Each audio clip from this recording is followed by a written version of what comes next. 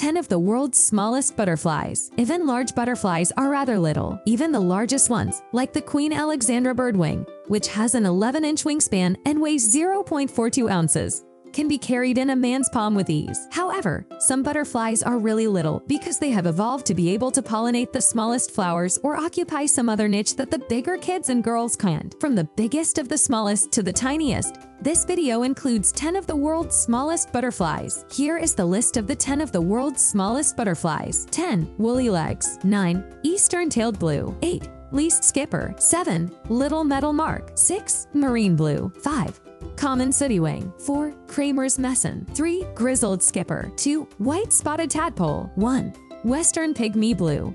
Please subscribe for detailed video.